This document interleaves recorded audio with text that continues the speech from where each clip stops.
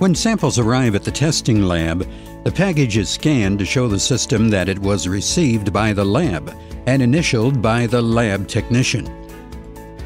Samples are removed from the transportation container and are placed in a heat bath at 95 degrees Celsius. After 30 minutes, the samples are removed and placed on ice. A lab technician does a visual inspection of samples to determine if there is enough volume and correct consistency for the robotic equipment and are separated for manual or robotic plating. Samples are scanned individually and their location on the tray are logged and paired with a sampling plate. Samples that are too thick or not suitable for transfer with a robot are transferred into a testing plate manually. The plate is labeled with a batch number and plate number for tracking. As a lab technician draws a precise amount from sample tubes to be set into the testing plate. The unused sample is spot checked to verify that it was placed in the correct slot, and all samples are temporarily stored in case retesting is required. Samples are held in the lab for 48 hours before proper disposal in red biohazardous waste bin.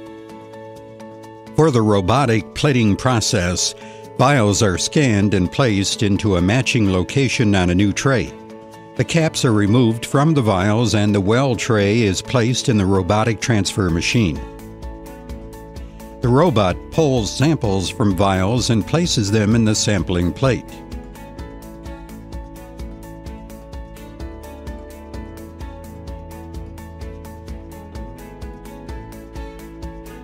The sampling plate is sealed to prevent contamination, and the remaining sample left in the vial is scanned before transfer and temporarily stored in case retesting is required.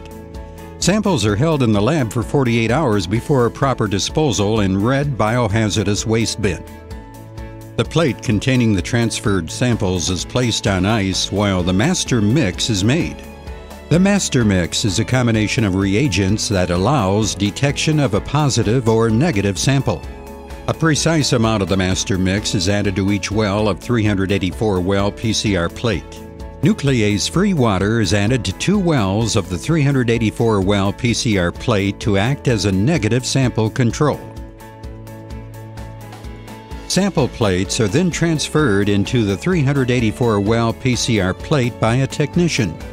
The 384 well PCR plate allows for more samples to be tested at a time, speeding the testing process. A positive reference material is added to two wells of the 384 well PCR plate, which will act as a positive sample control. The 384 well PCR plate is sealed and vortexed for proper mixing of sample and reagents.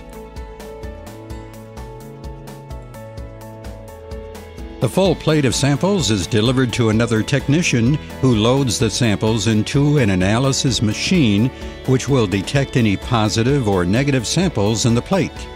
Results are generated in approximately one hour after the plate is loaded to the analysis machine. Upon completion of the analysis, the technician reviews the results for accuracy and uploads results to the Shield Illinois Laboratory Information System, also known as LIMS, and individual results are made available on individual accounts.